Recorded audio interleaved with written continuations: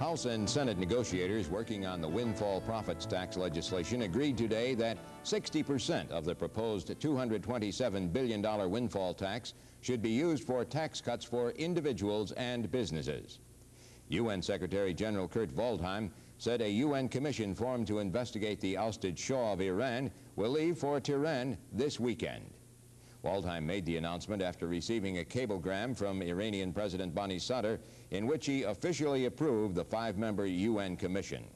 And the full Republican presidential field takes part in a debate in Manchester, New Hampshire tonight. The Buffalo 29 weather words, a few raindrops tonight with a low in the mid-30s. Cloudy tomorrow, high near 40. More news in an hour.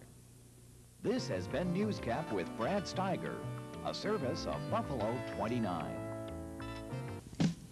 Star Trek's original five-year mission continues tonight at 10 here on Buffalo 29.